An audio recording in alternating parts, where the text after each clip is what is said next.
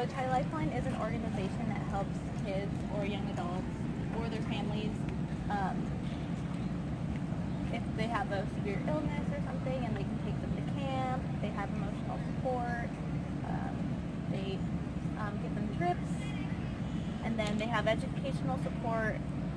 They also have um, pet therapy or they help them train their dog for person with disabilities. Okay, can I tell you a little bit about it?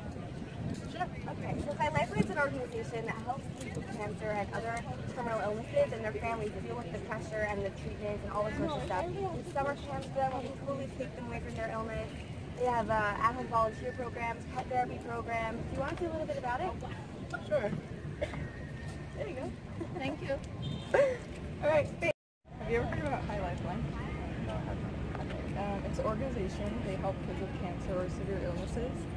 And they have different programs. They have emotional support, they have summer camps, different trips, um, educational support, recreational activities, libraries, and pet therapy, art therapy.